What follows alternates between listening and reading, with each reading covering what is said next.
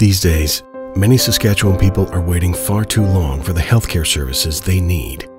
Chronic understaffing of healthcare professionals has led to long wait lists, and patients are feeling the effects of an overextended system where access to many critical services has become unsafe.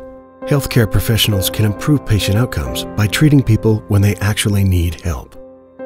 Healthcare understaffing hurts everyone. A message from the Health Sciences Association of Saskatchewan.